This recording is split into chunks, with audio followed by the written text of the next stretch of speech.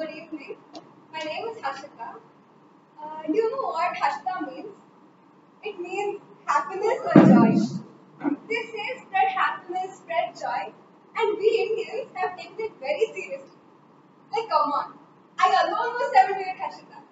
I was called HR my entire high school because there was another Harshita in my class. Since school came up, let me tell you, the number of schools that changed is equal to the number of know. My school was great, not academically, but fun wise.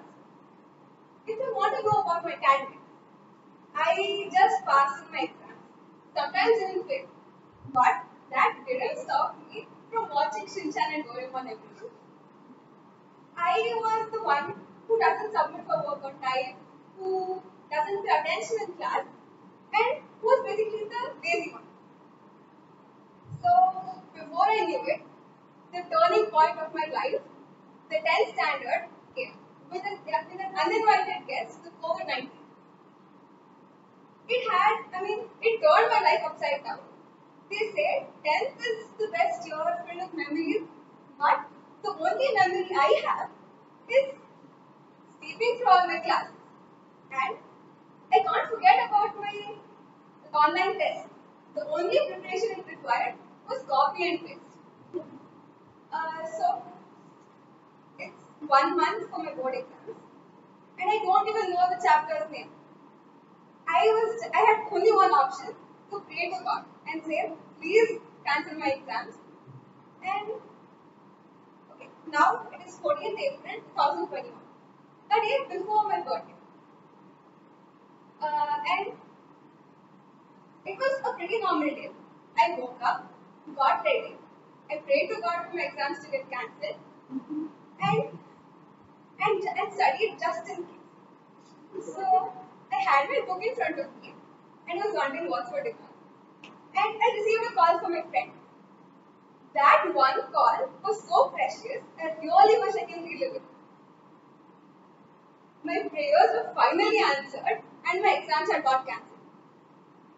Before I knew it, I was choosing between science or commerce. Obviously not arts. And commerce only if I want to become CA. So, I chose science with PCMB combination. My first POC, it was really weird. After a whole year of only sleeping and eating, I'd forgotten how to read and write. And like once, uh, my teacher was dictating notes, and we were like, "What is the spelling of seven days wala week?" And it like for for a month we had online classes, the next offline, and again online. Somehow I passed my first PU. And then, by that time, I knew I wanted some change. So I went to a hostel in Mangalore. That one year was really awesome. I made good friends and I even studied. and everything was great except the food and my My stay there me three very important things. One, no one observes you, so do whatever you want. We can never judge a person based on how they look, behave, or how sweet or kind they are. And three, the most important one, never tell anyone that they have snacks with you. um, after my boards, I came back home.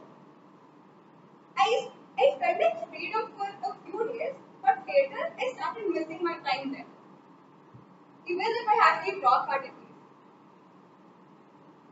Like after a month, it was the day of my results. I was, it was 10 o'clock. I'm, still sleeping. My mom and, and my sister were in my Mysore. My dad had gone out for work. I receive a call. It's my mom. And she's like, don't worry if you fail in your exams, but we'll support you. I mean, I can't blame them for having a thought like that because I was a student. I mean, who just passed in exams. So I was, but that, but what she said made me really nervous. I cut the call, opened Google search, searched for the website, entered my roll number, and then prayed to God. Devre, please give pass marks and then, and then I opened my result. It was a distinction. I had got 85. I knew I had done well in my exams, But the inner Harshita was like, did you cheat? We had never gotten above 70. This was my story till last month. Now I'm excited to learn more about AI and ML, which may be another Harshita in my class. So now, tell me, how many people have you met with the same name as yours? With that, I would like to my speech. Thank you.